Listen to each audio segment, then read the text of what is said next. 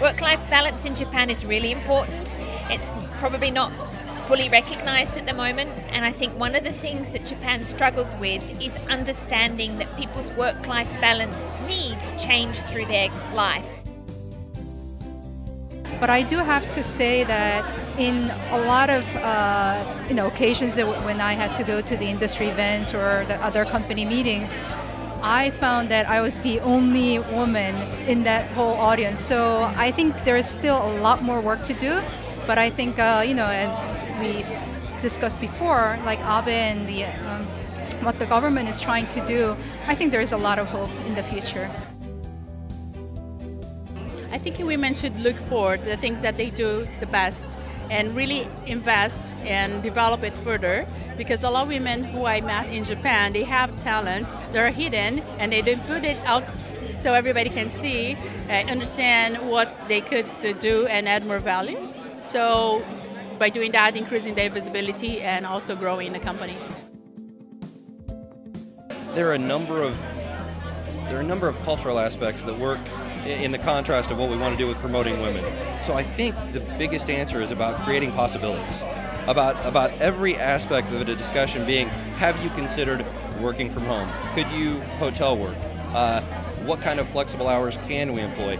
And you just look at every one of the issues or situations and you get creative around all the different aspects. So instead of looking at you know how many blockers are there, it's how how many ideas can we get uh, to work around those blockers and create an opportunity to really promote women and have them succeed as aggressively and as far as they'd like in their career.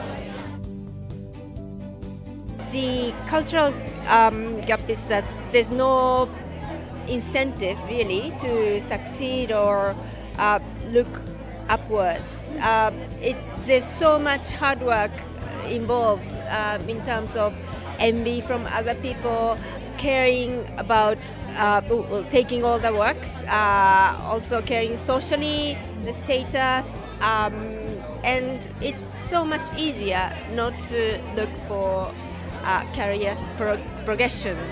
So I think there's simply lack of um, incentive to build career here in Japan. One example is that I'm so used to uh, lady first culture, but in Japanese company there's no lady first culture, the men first. So there's a lot of shocking things happen. So based on those things, experience, it's very hard to like, show uh, my ability, but it's important for the next generation that I keep working on and challenging and to overcome those uh, you know barriers. Um, I think it's really about believing in themselves and um, believing what they can do and achieve. I think this is the most important element, especially in the Japanese society. And um, I think this is really what they would need to kind of like conquer all the challenges they have